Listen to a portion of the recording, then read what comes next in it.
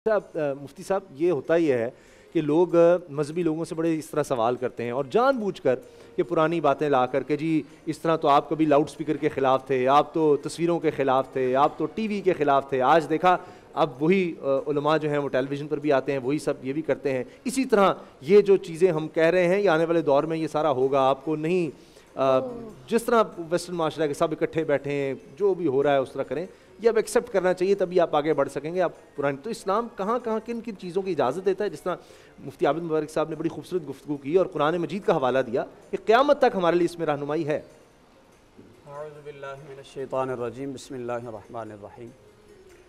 शुक्रिया उसामा भाई। इस्लाम में जिद्दत पसंदी।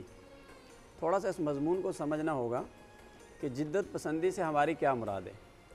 क्या हम इस्लाम को नया करना चाहते हैं? तो वो तो हो नहीं सकता। इस्लाम तो उसके तो वही असूल वही मुबादियात वही असासियात वो क़यामत तक वही रहेंगे। अलबत् ये हो जाता है कि मरूर ज़माना के साथ साथ उसमें कुछ ख़राबियाँ भी आ सकती हैं। ठीक। तो ऐसे ऐसे फ़ुज़ला आते हैं कि जो उस गर्द को इस इमारत से हटाते हैं और इस्लाम जो 1400 साल पहले जिन बुनियादों पर था उसको सामने लेकर आ जाते हैं। जी। तो एक तो जिद्दत ये हो सकती है। तो इसकी तो कोई गुंजाइश नहीं कि दीन को नया किया जाए। हाँ जो आपने सवाल किया कि भाई वक्त गुज़रने के साथ साथ बहुत कुछ दुनिया में तब्दीलियाँ आती हैं क्या हमारे इस्लाम के दामन में ये गुंजाइश है कि वो वक्त के तकाज़ों को अपने अंदर समो सके?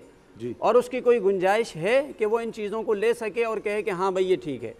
तो इस हवाले से मैं ये अर्ज़ करूँगा देखिए अगर मैं कुरान की बीसियों आयत हैं मैं सिर्फ़ एक ही आयत अगर पढ़ूँ ना उसमें तकरीबन साइंस की सारी शाखें जमा हो जाएँगी जो आज आप देखते हैं। इन नफ़ी खल्क समावती वल अर्ज़ फरमाया बेशक आसमान व ज़मीन की पैदाइश में ले लीजिए आसमान व ज़मीन की पैदाइश।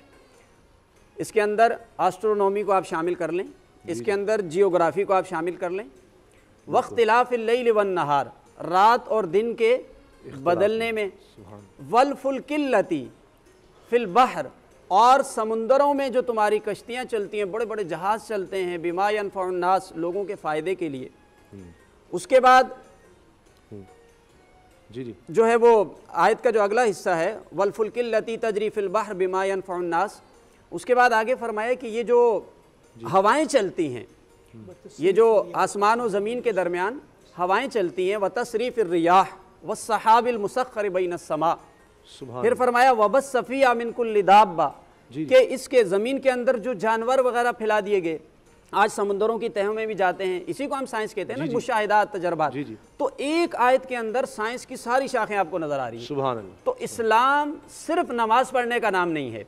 असल में गलत फहमी ये है कि हमने लोगों को ये समझाया कि वमा खलकतुलजिन वलिनबून कि भाई इंसान की तख्लीक का मकसद इसलिए हुआ है कि वो सिर्फ़ नमाज़ पढ़े इबादत करे। सॉरी अच्छा इबादत सिर्फ़ नमाज़ पढ़ने का नाम नहीं है। इबादत तो हुक्म इलाही का नाम है। भाई जहाँ जहाँ हुक्म इलाही होगा वो सारी इबादत होंगी। बहुत तो क्या हुक्म इलाही नमाज़ रोज़ा तक महदूद हो गया? नहीं कुरान पढ़ें आप। फ़िदा कुदियत फ़न तशरू फिल अर्ज़। अल्लाह ने फरमाया जब नमाज़ से फारग हो जाते हो तो ज़मीन में फैल जाओ। जाओ ज़मीन में तलाश करो। हुक्म इलाही ये इबादत है। गौर आप गौर फ़िक्र करेंगे ये हुक्म इलाही ये इबादत है। सही। हुजूर अली सलाम ने अपने ज़माना अकदस में उसकी एक बड़ी शानदार मिसाल उस ज़माने के अंदर जिद्दत नहीं अच्छा। थी यानी तरक्की नहीं थी तो हजूर अली सलाम ने फरमाया जब जंगों का दौर था फरमाया जो सबसे पहला जी जी। जंगी बहरी बेड़ा तैयार करेगा जो मेरा नायब जो जंगी बहरी बेड़े बनाकर जिहाद करेगा उसको जन्नत की खुशखबरी दी। सुबह इसी तरीके से